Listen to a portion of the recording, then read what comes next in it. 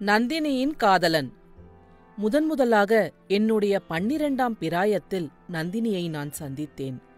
ஒரு நாள் பழையாறையில் எங்கள் அரண்மனையின் பின்புறத்திலுள்ள நீர் ஓடையில் நானும் என் தங்கையும் ஒரு நாள் பழையாறையில் எங்கள் அரண்மனையின் பின்புறத்தில் உள்ள நீர் ஓடையில் நானும் என் தங்கையும் தம்பியும் ஓடம் விட்டு விளையாடிக் கொண்டிருந்தோம். விளையாட்டு முடிந்து ஓடத்திலிருந்து இறங்கி பூஞ்சோலை வழியாக அரண்மனைக்குச் சென்றோம். வழியில் எங்கள் பெரிய பாட்டி செம்பியன் மாதேவியின் குரல் கேட்டது. நாங்கள் மூன்று பேரும் பாட்டியிடம் செல்லமாக வளர்ந்தவர்கள். பாட்டியிடம் நாங்கள் ஓடம் விட்டதைப் பற்றி சொல்வதற்காக அவருடைய குரல் கேட்ட கொடிவீட்டுக்குள் புகுந்தோம். அங்கே பாட்டியைத் தவிர இன்னும் மூன்று பேர் இருந்தார்கள். மூன்று பேரில் ஒருத்தி எங்களையொத்த பிரயாயத்து சிறு பெண் மற்ற இருவரும் அவளுடைய பெற்றோர்கள் என்று தெரிந்தது. அந்த பெண்ணைப் பற்றி அவர்கள் ஏதோ அவர்கள் ஏதோ மாதேவடிகளிடம் சொல்லிக் கொண்டிருந்தார்கள். நாங்கள் கொடி வீட்டுக்குள் புகுந்ததும் அங்கிருந்த எல்லாரும் எங்களை பார்த்தார்கள். ஆனால் அந்தச் சின்னஞ்சிறு பெண்ணின் வியப்பினால் விரிந்த நெடிய கண்கள் எங்களை பார்த்தது மட்டுமே என் கண்ணுக்கு தெரிந்தது. அந்தக் காட்சி இன்றைக்கு நினைத்து பார்த்தாலும் என் மனக்கண் முன்னால் நிற்கிறது. இவ்விதம் கூறி கரிகாலன் வானத்தை அண்ணாந்து பார்த்துக் கொண்டு மௌனமாயிருந்தான். வானத்தில் அச்சமயம் உலாவிய மெல்லிய மேகத் திரைகளுக்குள்ளே அந்தச் சிறு பெண்ணின் முகத்தை அவன் பார்த்தானோ என்னமோ தெரியாது. ஐயா அப்புறம் சொல்லுங்கள் என்று பார்த்திபேந்திரன் கேட்டதும் கரிகாலன் இந்த உலகத்துக்கு வந்து கதையைத் தொடர்ந்தான். பாட்டியிடம் ஓடம் விட்டு விளையாடியதைப் பற்றி என் தங்கை குந்தவைதான் சொன்னாள். அதைக் கேட்ட பிறகு மாதேவடிகள் என் கண்ணே இந்த பெண்ணை பார்த்தாயா? எவ்வளவு சூடிகையாயிருக்கிறாள். இவர்கள் பாண்டி தேசத்திலிருந்து நம்முடைய ஈசான சிவபட்டர் வீட்டுக்கு வந்திருக்கிறார்கள். கொஞ்ச நாளைக்கு இங்கே இருப்பார்கள். இந்த பெண்ணின் பெயர் நந்தினி. இவளையும் சில சமயம் உங்கள் விளையாட்டுகளில் சேர்த்துக் கொள்ளுங்கள். இவள் உனக்கு நல்ல தோழியாயிருப்பாள் என்றார். ஆனால் என் தங்கைக்கு இது பிடிக்கவில்லை என்பதை நான் அறிந்து கொண்டேன். நாங்கள் மூவரும் அங்கிருந்து அரண்மனைக்குச் சென்றபோது குந்தவை அண்ணா அங்கே ஒரு பெண் நின்றாளே. எவ்வளவு அவலட்சணமாயிருந்தால் பார்த்தாயா? அவளுடைய முகம் ஏன் அப்படி கோட்டான் முகம் மாதிரி இருக்கிறது? அவளுடன் நான் விளையாட வேண்டும் என்கிறாரே பாட்டி. அவள் முகத்தை பார்த்தால் என்னால் சிரிக்காமல் இருக்கவே முடியாதே. என்ன செய்வது? என்றாள். இதைக் கேட்டதும் எனக்கு ஒரு முக்கியமான உண்மை தெரிய வந்தது அதாவது பெண்கள் பிறக்கும்போதே பொறாமையுடன் பிறக்கிறார்கள் என்பதுதான். ஒரு பெண் எவ்வளவு அழகுடையவளாய் இருந்தாலும் இன்னொரு பெண் அழகாயிருப்பதை காண சகிப்பதில்லை. எங்கள் குலத்தில் பிறந்த பெண்களுக்குள்ளே என் சகோதரி சௌந்தரியம் மிக்கவள் என்பது பிரசித்தமானது. அவளுக்கும் இன்னொரு பெண் அழகாயிருப்பதைக் கண்டு பொறுக்கவில்லை. இல்லாவிட்டால் அந்த பெண்ணை குறித்து ஏன் அப்படி சொல்ல வேண்டும்? நான் என் சகோதரியை லேசில் விடவில்லை. அவளுக்கு கோபம் உண்டாக்குவதற்காகவே அந்த இன்னொரு பெண் அழகாய்தான் இருக்கிறாள் என்று வற்புறுத்தி சொன்னேன். இருவரும் அடிக்கடி இதைப் பற்றி விவாதம் செய்து சண்டை பிடித்தோம். எங்கள் சகோதரன் அருள்மொழியோ இந்த சண்டையின் காரணத்தை அறியாமல் திகைத்தான். பிறகு சில நாளைக்கெல்லாம் பாண்டிய நாட்டு யுத்தத்துக்குச் சென்ற என் தந்தையோடு நானும் புறப்பட்டுச் சென்றேன். பாண்டிய சைன்யத்தையும் பாண்டியர்களுக்கு உதவியாக இலங்கை அரசன் அனுப்பிய சைன்யத்தையும் பல இடங்களில் முறியடித்தோம். கடைசியில் வீரபாண்டியன் ஓடி ஒளிந்து கொண்டானா அல்லது போர்க்களத்தில் மடிந்தானா என்பது அச்சமயம் தெரியவில்லை. வீரபாண்டியன் மறைந்ததும் பாண்டிய சைன்யத்துக்கு உதவியாக வந்த இலங்கை வீரர்கள் பின்வாங்கி ஓடினார்கள். அவர்களை துரத்திக் கொண்டு நாங்கள் சேதுக்கரை வரையில் சென்றோம். இறந்தவர்கள் போக மற்றவர்கள் கப்பல் ஏறி தப்பித்துச் சென்றார்கள். அடிக்கடி பாண்டியர்களுக்கு உதவியாக படைகள் அனுப்பி தொல்லைப்படுத்தும் இலங்கை மன்னர்களுக்கு என் தந்தை புத்தி கற்பிக்க விரும்பினார். கொடும்பாலூர் சிறிய வேளாளரின் தலைமையில் ஒரு பெரிய படையை இலங்கைக்கு அனுப்புவதென்று தீர்மானித்தார். இதற்கு வேண்டிய கப்பல்களையும் தளவாடங்களையும் சேகரிக்க சிறிது காலமாயிற்று. ஆயினும் நாங்கள் அங்கேயே தாமதித்து கப்பல்களில் படைகளை ஏற்றி அனுப்பினோம். மாதோட்டத்தில் நம் வீரர்கள் பத்திரமாய் சென்று இறங்கினார்கள் என்று தெரிந்த பிறகே அங்கிருந்து சோழ நாட்டுக்கு திரும்பினோம். மீண்டும் நான் பழையாறைக்கு வந்து சேர்வதற்குள் இரண்டு வருஷத்துக்கு மேலாகிவிட்டது. மதுரை பக்கத்திலிருந்து வந்திருந்த அர்ச்சகர் பெண்ணை நான் அடியோடு மறந்துவிட்டேன்.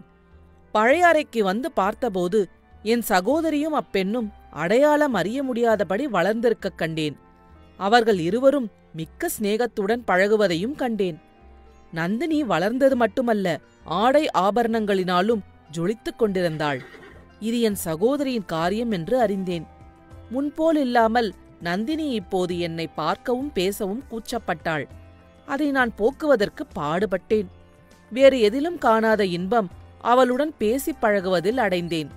இது எனக்கு அந்த சிறு பிராயத்தில் எவ்வளவு வியப்பை அளித்தது என்பதை சொல்ல முடியாது.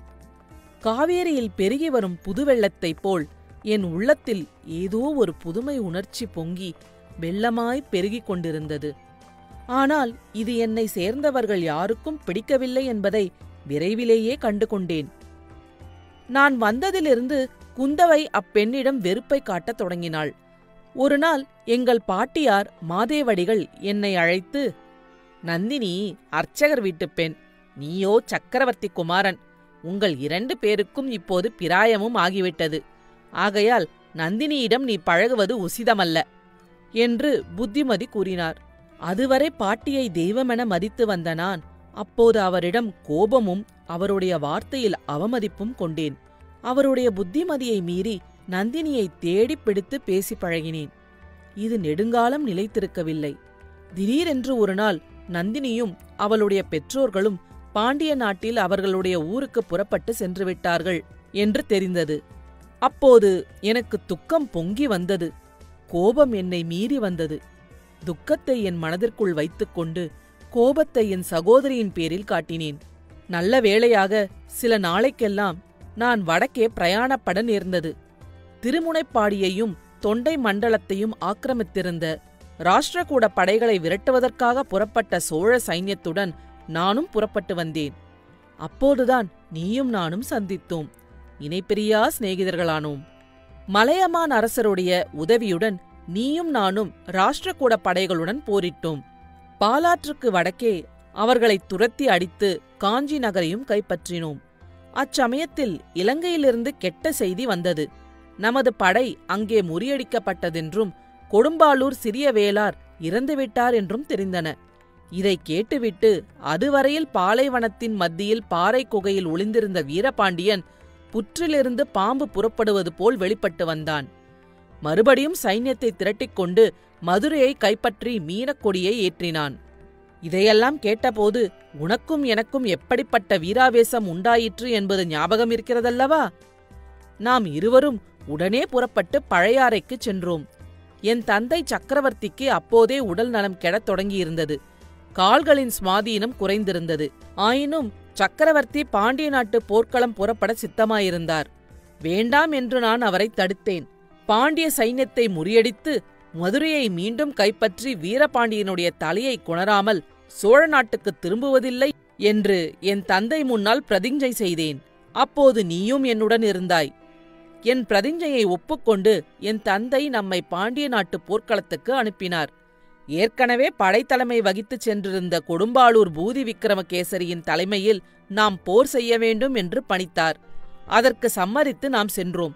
வழியில் பெரிய பழுவேட்டரையரை சந்தித்தோம். அவரை படைத்தலைவராக்காமல் கொடும்பாளூர் வேந்தரை நியமித்ததில் பழுவேட்டரையருக்கு அதிருப்தி உண்டாகியிருந்தது என்பதை அறிந்தோம். நம்முடைய போர் ஆவேசத்தைக் கண்டு சேனாதிபதி பூதி விக்ரமகேசரி யுத்தம் நடத்தும் பொறுப்பை நம்முடைய போர் ஆவேசத்தைக் கண்டு சேனாதிபதி பூதி விக்ரமகேசரி யுத்தம் நடத்தும் பொறுப்பை நம்மிடமே ஒப்புவித்து விட்டார். நண்பா அந்த யுத்தத்தில் நீயும் நானும் நம்ப முடியாத வீர செயல்களை புரிந்தோம் என்று பெருமை கொள்வதில் யாதொரு தவறும் இல்லை. பாண்டிய சைன்யத்தை முறியடித்து மதுரையை கைப்பற்றினோம். அத்துடன் நாம் திருப்தி அடைந்து விடவில்லை. மறுபடியும் பாண்டிய சைன்யம் தலையெடுக்க முடியாதபடி அதை நிர்மூலம் செய்துவிட விரும்பினோம். சிதறி ஓடிய வீரர்களை நாலா பக்கத்திலும் துரத்திச் சென்று ஒருவர் மிச்சமில்லாமல் துவம்சம் செய்துவிடும்படி நம் படை வீரர்களுக்கு கட்டளையிட்டோம். நாம் மட்டும் ஒரு வலிமையான படையுடன் பாண்டியனை துரத்திக் கொண்டு போனோம். உயரமாக பறந்த மீனக்கொடி பாண்டியன் எந்த திசையை நோக்கி ஓடுகிறான் என்பதை நமக்கு காட்டியது.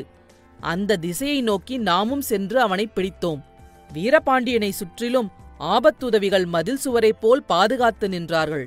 சோழ நாட்டு வேலக்கார படையை காட்டிலும் பாண்டிய நாட்டு ஆபத்துதவிகள் ஒரு படி மேலான வீரர்கள். பின்வாங்கி ஓடுவதில்லை என்றும் தங்கள் உயிரை அளித்தாவது பாண்டிய மன்னனை காப்பாற்றுவோம் என்றும் சபதம் செய்தார்கள். அது சாத்தியப்படாமற் போய் பாண்டிய மன்னனுக்கு ஆபத்து வந்துவிட்டால் தங்கள் தலையை தாங்களே வெட்டிக்கொண்டு பலி கொடுப்போம் என்று சபதம் பூண்டவர்கள். அப்படிப்பட்ட வீரர்கள் தங்கள் கடனை நிறைவேற்றினார்கள். ஒருவர் மிச்சமின்றி அவர்களைக் கொன்று தீர்த்தோம். இறந்தவர்களின் சவங்கள் மலைமலையாய் குவிந்தன. ஆனால் அவர்களுக்கு நடுவில் பாண்டியனை நாம் காணவில்லை.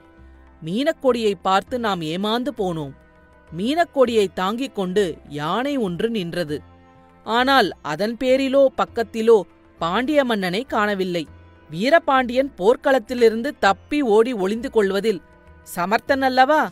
இப்போதும் அவன் ஓடியிருக்கலாம் என்று சந்தேகித்து படைகளைப் பிரித்து நாலாபுரமும் அனுப்பினோம். வைகை நதியின் இரு கரைகளோடு நீங்கள் எல்லோரும் விரைந்து சென்றீர்கள். நானும் சும்மா இருக்கவில்லை. வைகை நதியில் இறங்கி மணலில் நடந்து தெற்கே சென்றேன். ஒரு தனி குதிரையின் குளம்படி மணலில் சில இடங்களில் பதிந்திருந்தது. குதிரை போன வழியில் மணலில் இரத்தக்கரையும் காணப்பட்டது. அதை பிடித்துக்கொண்டு நான் போனேன். வைகை ஆற்றின் மத்தியில் ஒரு தீவு போல் அமைந்திருந்த சோலையை அடைந்தேன். அந்தச் சோலைக்குள்ளே திருமாலின் கோவில் ஒன்றிருந்தது. அதையொட்டி இரண்டொரு அர்ச்சகர் வீடுகள் இருந்தன. பெருமாள் பூஜைக்குரிய பூமரங்கள் அச்சோலையில் ஏராளமாக இருந்தன. ஒரு சிறிய தாமரை குளம் பூத்துக் குலுங்கிக் கொண்டிருந்தது. நண்பா உனக்கு ஒரு வேலை ஞாபகம் இருக்கலாம். அந்த சோலையைச் சுட்டிக்காட்டி அதில் நம் வீரர்கள் யாரும் தப்பித்தவறிக் கூட பிரவேசிக்க கூடாது என்று நான் கண்டிப்பான கட்டளையிட்டிருந்தேன். இதற்கு காரணம் அந்த பெருமாள் கோவிலின் பூஜைக்கு பங்கம் எதுவும் வரக்கூடாது என்று நான் எண்ணியது மாத்திரமல்ல. அங்கே இருந்த பட்டரின் வீட்டில் என் உள்ளத்தை கவர்ந்து என் நெஞ்சில் கோவில் கொண்ட பெண்ணரசி இருந்ததுதான். ஒரு நாள் அந்த சோலைக்குள் நான் புகுந்தபோது நந்தினியை பார்த்துவிட்டேன். அவளுடைய கோலம் இப்போது சிறிது மாறி போயிருந்தது. தலைக்கூந்தலை ஆண்டாள் விக்கிரகத்தைப் போல் முன்னால் மகுடமாக கட்டி அதில் பூமாலை சுற்றியிருந்தாள். கழுத்திலும் பூமாலை தரித்திருந்தாள். இது என்ன கோலம்? என்று நான் கேட்டேன். அவள் என்னை பிரிந்து வந்த பிறகு மானிடர் யாரையும் மணப்பதில்லை என்றும் ஆண்டாளைப் போல் கண்ணனையே மணப்பது என்றும் சங்கல்பம் செய்து கொண்டதாக கூறினாள். இது வெறும் பைத்தியக்காரத்தனமாக எனக்கு தோன்றியது. மானிடப் பெண்ணாவது கடவுளை மணப்பதாவது. ஆயினும் அதை பற்றி அச்சமயம் விவகாரம் செய்ய நான் விரும்பவில்லை. யுத்தம் முடியட்டும் பிறகு பார்த்துக் கொள்ளலாம் என்று எண்ணினேன். அவளுக்கு ஏதேனும் உதவி வேண்டுமா என்று கேட்டேன். உங்கள் போர் வீரர்கள் யாரும் இங்கு வராதபடி செய்யுங்கள். இங்கே என் வயதான தாய் தந்தையர் மட்டும்தான் இருக்கிறார்கள். அவர்கள் கண் தெரியாதவர்கள். திரகாத்திரனான என் தமையன் ஒருவன் உண்டு. அவன் இப்போது திருப்பதி யாத்திரை போயிருக்கிறான் என்றாள். அவள் கேட்டபடி அங்கே நம் வீரர் யாரும் வராமல் பார்த்துக் கொள்வதாக நான் வாக்குறுதி கொடுத்துவிட்டு திரும்பினேன். அப்புறம் இரண்டு மூன்று தடவை அவளை போய் பார்த்தேன். அவளிடத்தில் நான் கொண்ட பழைய மோகம் ஒன்றுக்கு பத்து மடங்கு பெருகி கொழுந்துவிட்டிருந்தது. எனினும் பொறுமையை கடைப்பிடித்தேன். வந்த காரியத்தை முதலில் முடிக்க வேண்டும். வீரபாண்டியனுடைய தலையுடன் பழையாறைக்கு போக வேண்டும். அதற்கு பிரதியாக நந்தினியை மணந்து கொள்ள தந்தையிடம் அனுமதி கேட்பது என்று முடிவு செய்தேன். இப்படி நான் தீர்மானித்திருந்த நிலையில் ஒற்றை குதிரையின் குளம்படி அந்த சோலைக்குள்ளே போயிருப்பதைக் கண்டதும் அளவிலாத வியப்பும் ஆத்திரமும் கொண்டேன். மேலும் சென்று பார்த்தபோது அடர்ந்த மரங்களின் மறைவில் குதிரை கட்டியிருப்பதைக் கண்டேன். எனவே தப்பி வந்தவன் அந்த குடிசை வீடுகளில் ஒன்றில்தான் இருக்க வேண்டும். நந்தினியின் வீட்டுக்குச் சென்று பலகனி வழியாக பார்த்தேன். நண்பா அங்கே நான் கண்ட காட்சி பழுக்க காய்ச்சிய இரும்பினால் என் நெஞ்சில் தீட்டியது போல பதிந்திருக்கிறது. ஒரு பழைய கயிற்றுக்கட்டிலில் வீரபாண்டியன் படுத்து கிடந்தான். நந்தினி அவனுக்கு தாகத்துக்கு தண்ணீர் கொடுத்து குடிக்கச் செய்தாள். அவள் முகம் முன் எப்போதும் இல்லாத காந்தியுடன் ஜொலித்தது. அவள் கண்களில் இரண்டு துளி கண்ணீர் ததும்பி நின்றது. என்னை மீறி வந்த ஆத்திரத்துடன் கதவை படார் என்று உதைத்து திறந்து கொண்டு உள்ளே போனேன். காயங்களை கட்டிக் கொண்டிருந்த நந்தினி என்னை கண்டதும் அதை நிறுத்திவிட்டு முன்னால் வந்தாள்.